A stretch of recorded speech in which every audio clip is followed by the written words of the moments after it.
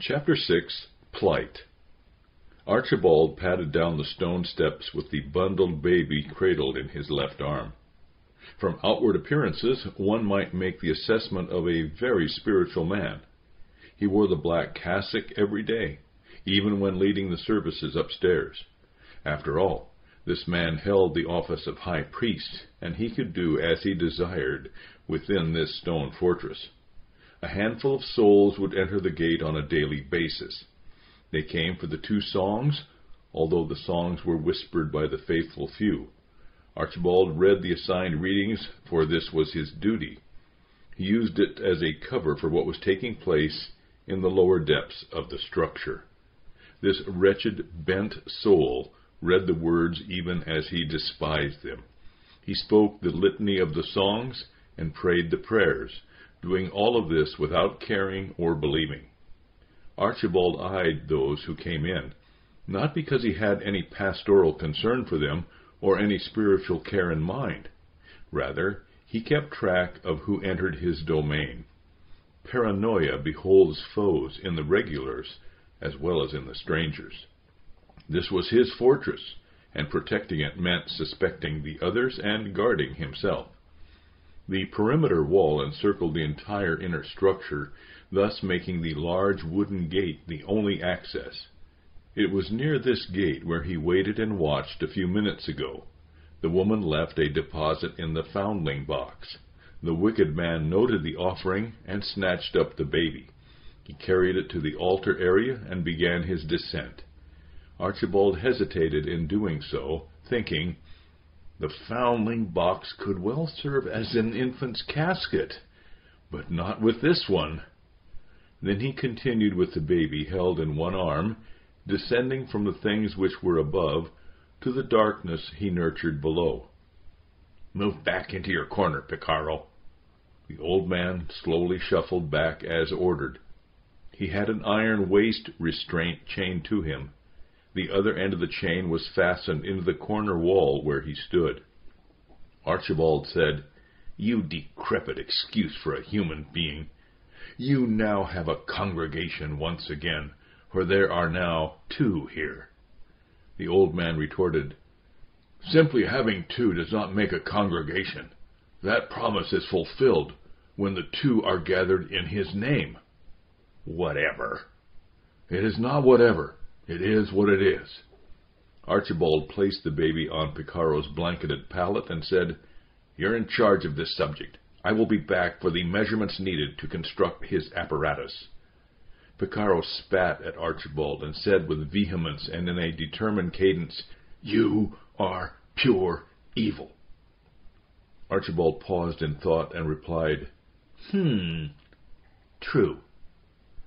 Picaro continued, and that's not a subject. That's a baby. Call him what you want. He's your parishioner. You will take care of him. If he dies, you die. Let it be so. That's a relief and not a threat. My desire is to depart and be with Christ, which is far better. The evil man said, But is it better for this subject, for you to remain as you are? Picaro answered, this baby will be crucified tonight. Archibald ignored the old man and continued, The gray woman will bring what is needed for you to care for the subject. She'll empty the waste bucket twice a day instead of once. The food types and amounts will remain the same. The aged captive declared, The baby will need bedding and clothing. Have the gray woman bring some. Archibald asked rhetorically, do you give orders to me?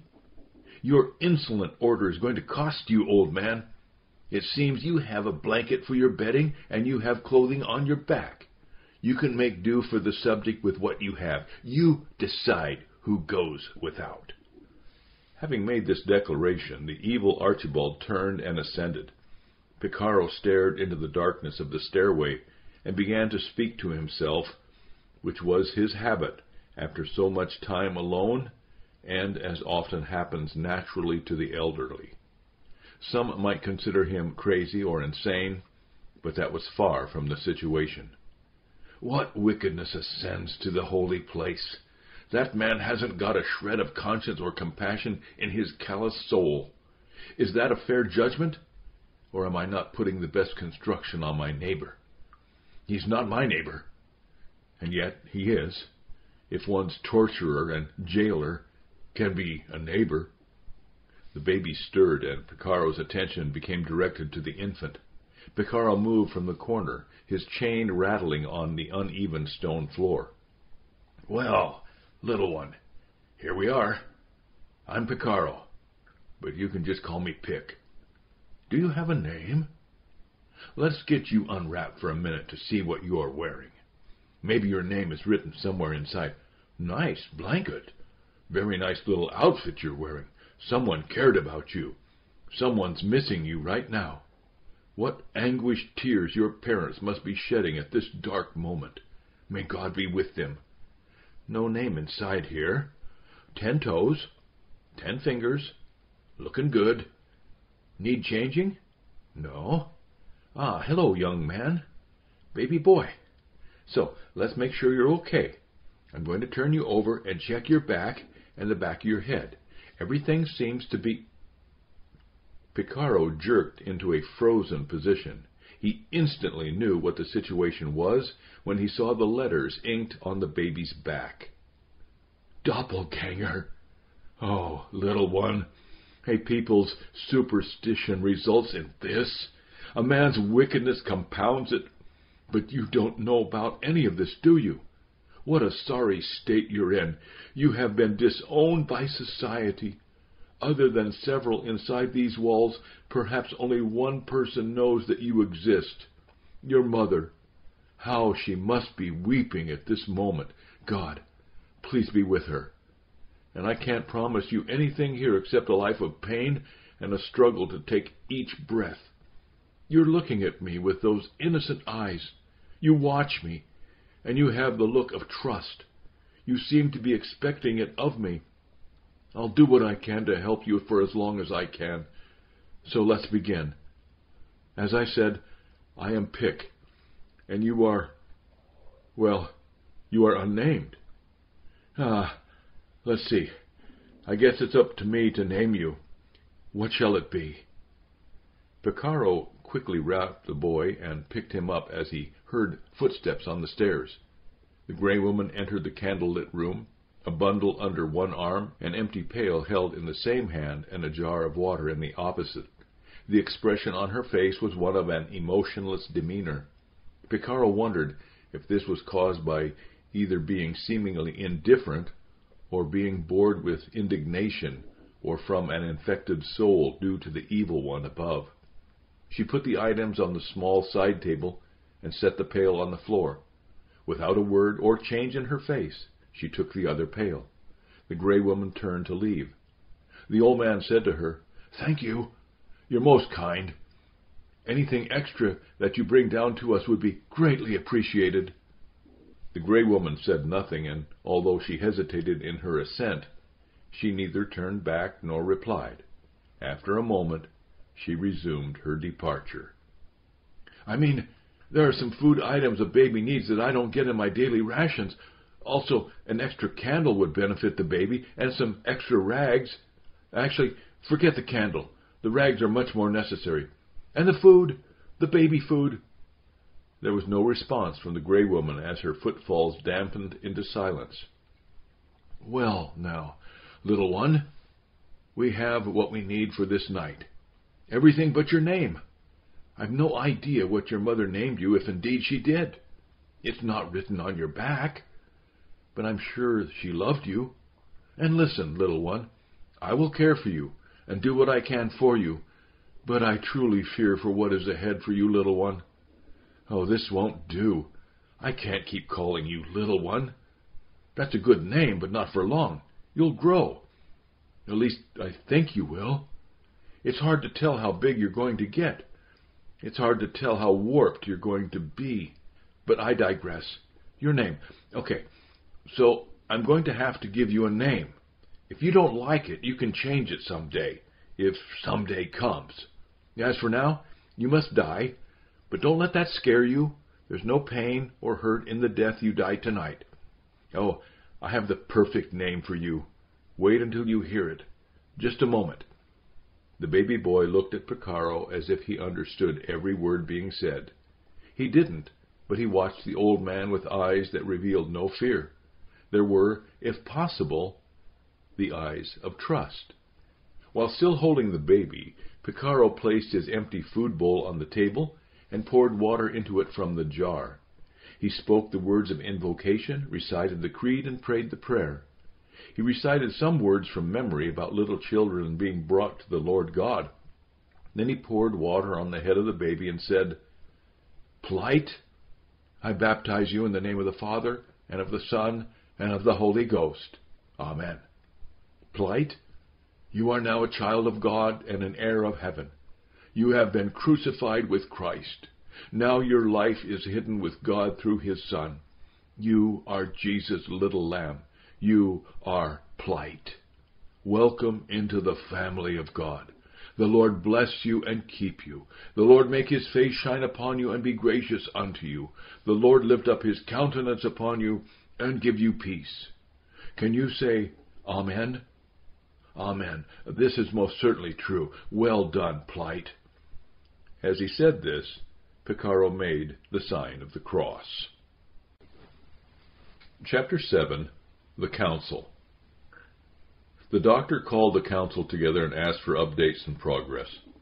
The general presented a situation report about troop deployment, tactical plans, logistics and resupply plans, enemy strength, patrolling, sorties to develop fluid actions, enlistment figures, and priority targets. We're not ready, but we will be at the dawn of the day. The politician gave a status report on strategic placement of personnel infiltration of education centers, effective predictions of neighborhood organizers, and program implementers. The politician continued, We'll not really be sure when we're ready. The general deals with military science, I deal with societal art. Science lends itself to numbers and understanding. Art puts us in the arenas of intuition and instinct. The doctor spoke sternly. You don't need to educate us. Your words border on an apology. Apologies are for the weak. The politician retorted, Are you educating us? The recruiter broke the tense atmosphere. We have trouble recruiting quality spies and assassins. The ones we now have are mediocre. Drugs and alcohol are often their priority. Keeping the killers contained is a challenge. They're as ready as they're going to be for the dawn of the day. We have a few good spies, and they continue to provide excellent information through dead drops and their preferred tradecraft exercises. A drug-free, alcohol-free, ideological assassin, not motivated by money, would be an excellent asset.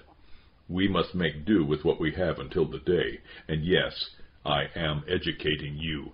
Deal with it. The council adjourned, and the four men receded into the dark corners of the night. Chapter 8 Zechariah Going to the oasis so soon? asked the watchman from his position at the balcony on the second story of the tower. The young widow answered smartly, Watchman, I'm not early. I always leave an hour before dawn. The watchman laughed in admiration and continued, You know what I mean. It's only been six days since you gave birth to Zechariah. Now you are already back to your daily trip to the oasis. Ignoring his line of questioning, she spoke, Watchman, tell me of the night. The watchman's tone changed, now speaking quite formally. The night was quiet. Since the last of the men returned from the river with clay shortly after sunset, no one has passed by my view. The way appears clear for you, but please remember that appearances do not always speak of safety. Reports have been received of a Manichaean harassing those taking water from the oasis to the riverbed. There are no physical enemies nearby, but what you will encounter in the distance, either physical or spiritual, remains unknown to me. I have not seen any sandmen among the desert wanderers for many days, but they may be nearby, as there are some in the city. Be cautious and prepared. As you know, the king has promised to return. Be ready if you meet him on the way. Will you bring water for Zechariah's washing? Yes, Watchman Pintock, today, along with what I carry for our personal needs for the public donation and a small drink offering for a few plants in your garden. I'll bring some for Zechariah's washing. Will you carry both Zechariah and the water you need? Not unless I stop this idle talk, watchman. The young woman replied quickly and sharply. You have nothing to prove, declared the watchman, combining a mild chiding with growing respect. You know, you just might need some help from someone. Evidently I do not, she said with measured bite. The remark pierced the pre-dawn darkness as well as the watchman's soul. He could only wince, groan, and add in a repentant voice, I'm sorry. In the name of the king, please forgive me. The young widow said nothing, opting to wave an absolution as she passed the tower and ventured into the pre-dawn light of the cold southwestern desert. Zechariah's mother was one of those women forced by the circumstances of life to live beyond her young years. Orphaned at ten, she was taken in and raised by her grandmother. While still in her teens, she married and soon became widowed. Zechariah was born shortly after her twentieth birthday. Sudden, tragic, senseless, easily prevented, horrible, cold, life-changing events end both childhood and marriage. The people who are left must go on, and usually do so by polarizing to one of two opposite directions, either defiant rejection or lip-pursing acceptance.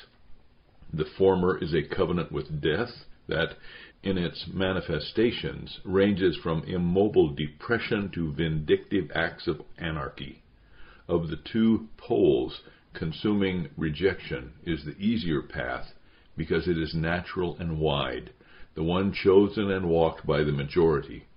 The other direction is a testament of life, one confessed in a dying world, one in which the king is acknowledged as permitting such tragedies when he had the power to prevent a child from being an orphan and a wife from being a widow.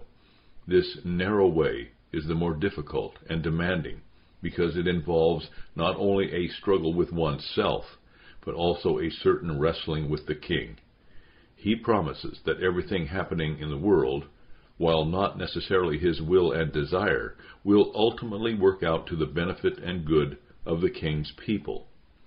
Experienced in the difficult way and guided by a strength exceeding her own, Zechariah's mother continued her confession of the king.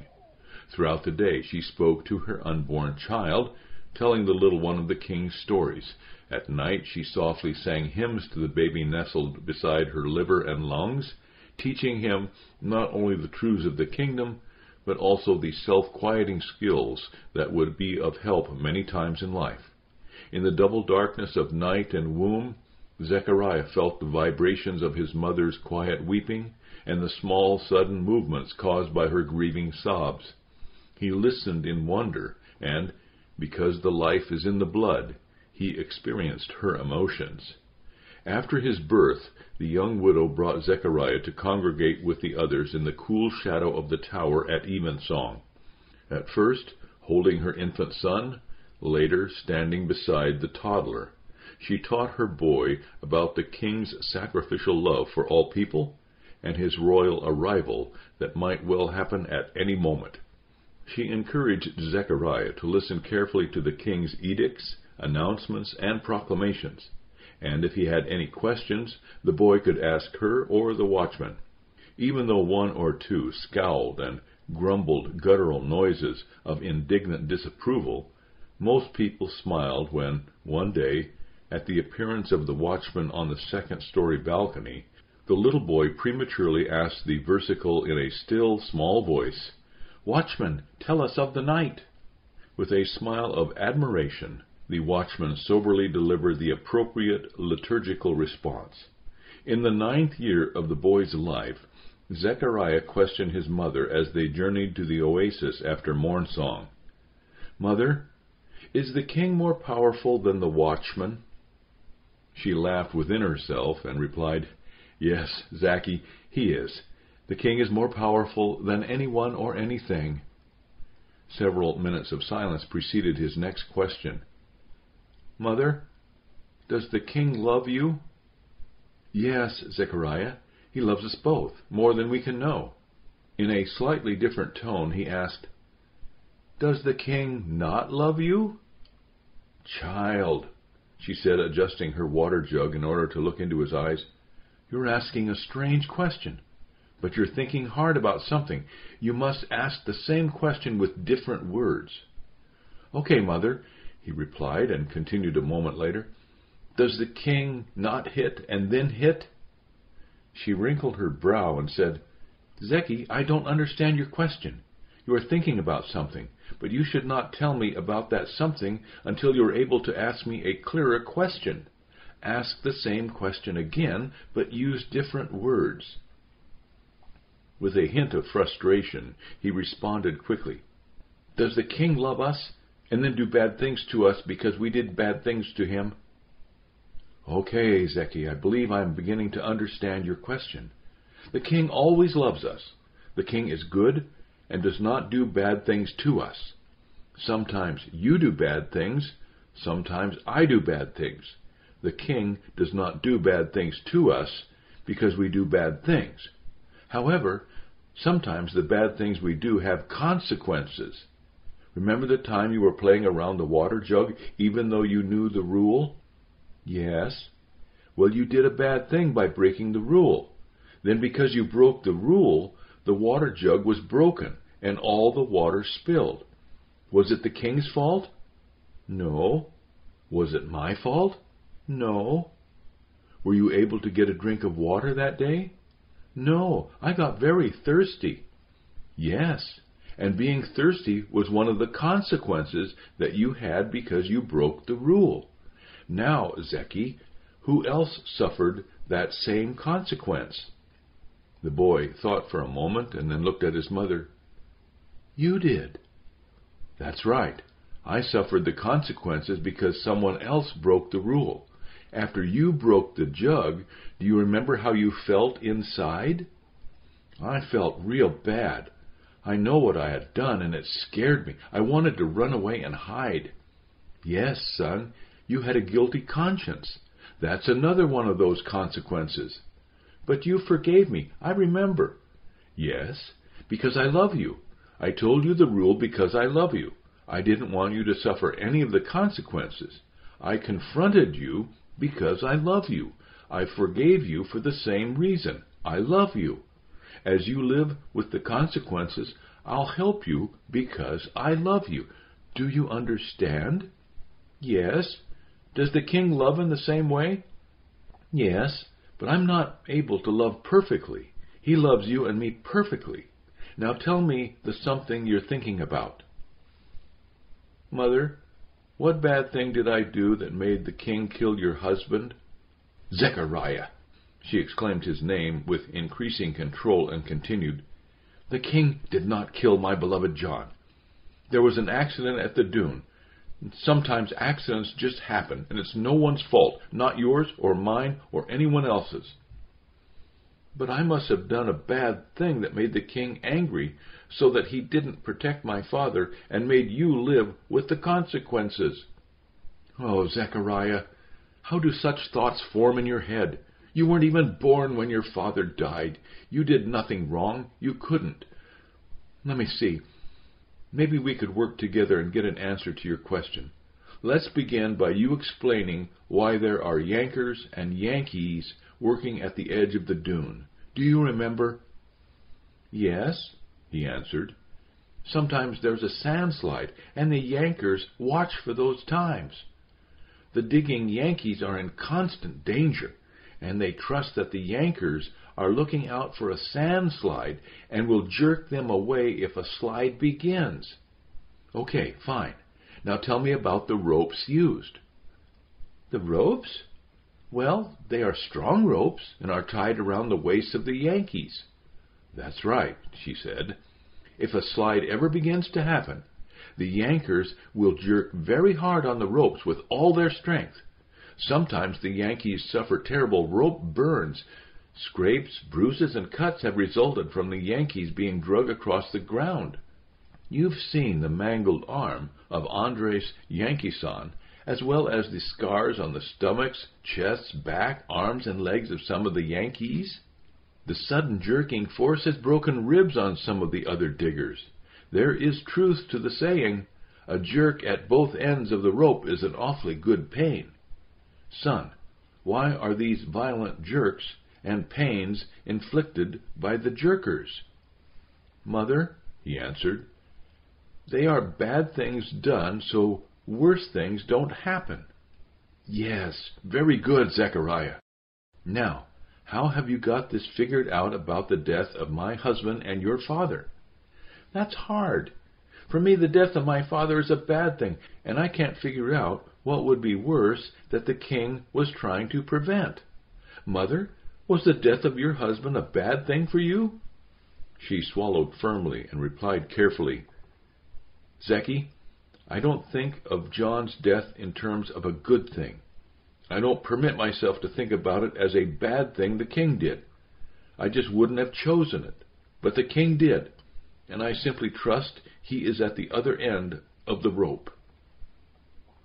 Zechariah continued to pursue. Was the death of my father a bad thing for me? Her emotions clogged her mind momentarily. After choking back a sob, she blurted a frightful, pent-up, Zechariah. Following a solitary sigh, she confessed from her heart, Yes. She held her son closely and wept openly. Later, they continued their walk in the direction of the oasis, neither speaking for extended minutes. The woman sensed another question and said, Have you formed your thoughts yet? He asked, Mother, is the king more powerful than the Doon? Recognizing the struggle taking place in her son's mind, she answered him, Yes. An hour later, as they sat in the bushy shade at the edge of the water, and filled their water jugs, she said to her son, You remember I told you that you could ask me any question you had? I remember. Please remember this also. While you may ask any question, there is no certainty that I am able to answer it. Zecky, do you understand? I do. Perhaps I shall save some of my questions and ask the king one day. I think you should. In the meantime, dear son, please do not trouble yourself too much with these matters. Chapter 9 Cavin Huddled in a dark niche in the hardened hut was Cavin Yankerson, son of Darren Yankerson and Kareen, digger's daughter. Cavin lived under a single board shelf and behind a raveled khaki curtain. The young teenager was entering puberty. Throughout his years he had experienced the will of his father and learned by conditioning to remain out of sight and hiding quietly in the darkness. As a child, he was mistreated so badly from infancy by a parent and ignored by the same for the same period of time that he didn't know any other way of life. He had no conscience. He hated his mother for being so weak and his father for being such a beast who beat and brutalized both him and her. At night, Cavin would have remained hidden in his spot and never come out had not hunger overcome his servile fear of another beating. The warped teenager watched his intoxicated father eating, noting the places where bits of bread and pieces of food fell. Usually Darren fell asleep before his meal was finished. Cavin watched and waited, listening especially for the deep snores. When he heard them, he quietly ventured forth and snatched the nearest crumbs on the floor. With the appearance of a statue, he listened again, his head raised to the level of the table, and his eyes beheld the unfinished meal. Most of the time, Cavin was able to take the food and retreat into his world. Occasionally, the beastly man was waiting for him, and backhanded the boy across the face with full force, sending Cavin reeling, tumbling, and taking cover behind the curtain. There he recovered from his whirling head, stinging face, temporarily dislocated jaw, ringing ear, and bleeding eyebrow. Darren bellowed a laugh and spewed out the slurred words, Boy, If you're gonna eat in my world, you're gonna have to be bigger and better than me. Cavin said nothing aloud. He muttered a few words silently to himself. As he sat in the darkness, rubbing his wounds and repressing his hunger, he rocked slowly. Cavin looked the look that promised and threatened. I will. I will. Tonight I will. And he did. For hours he waited behind the khaki curtain and fumed as he restrained himself. The drunken Darren cursed his wife and threatened to beat her. Neighbors yelled at him. There were shouts ordering him to leave his wife and son alone. One man said he was going to come over and show him how a proper beating was given. Darren invited him to come over and try.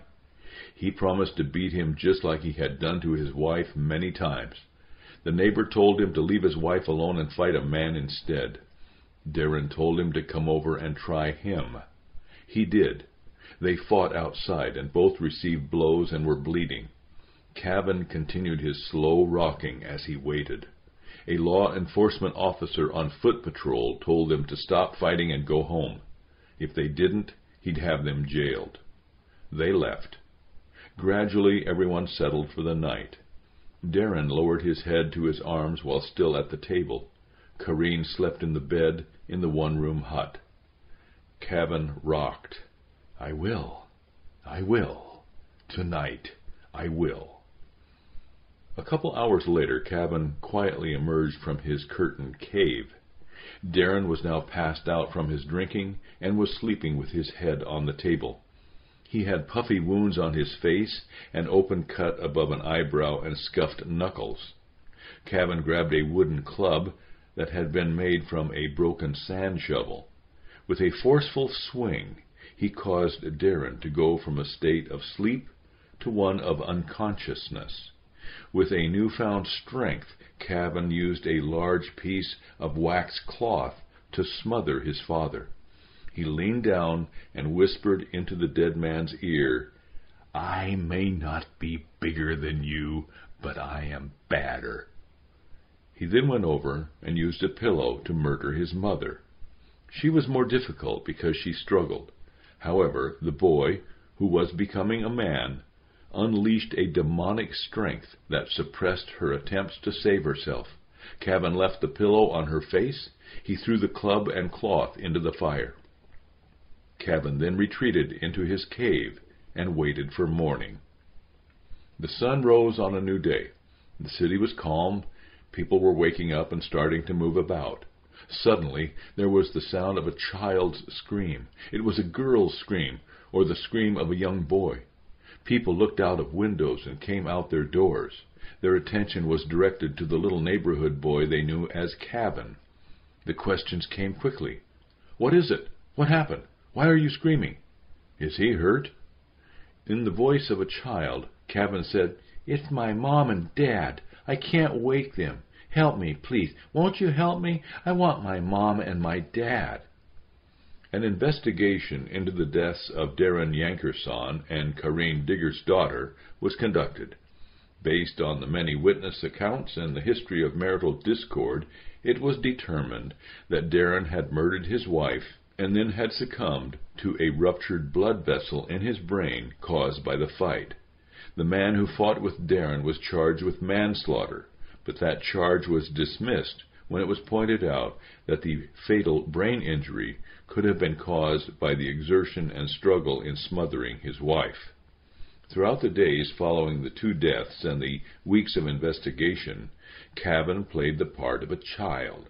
He remained in the streets and made sure that he didn't cause any problems.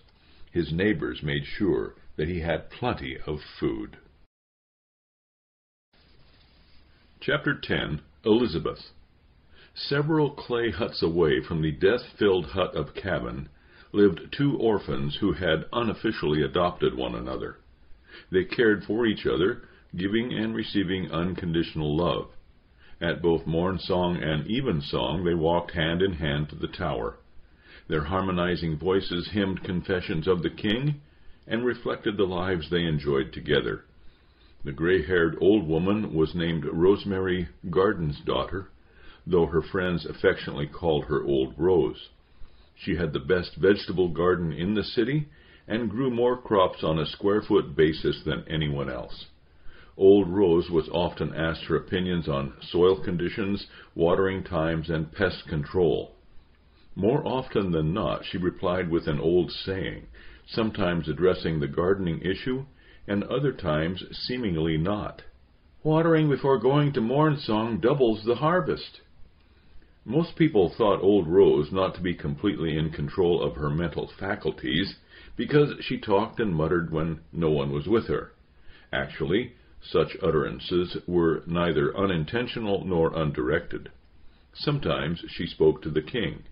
At other times she recited certain steps in various horticultural processes, speaking to herself so she didn't lose her place and forget an important step as a result. Contrary to outward appearances, old Rose listened and watched. She had seen the lumps on Karin's face and listened to the hurt in her heart.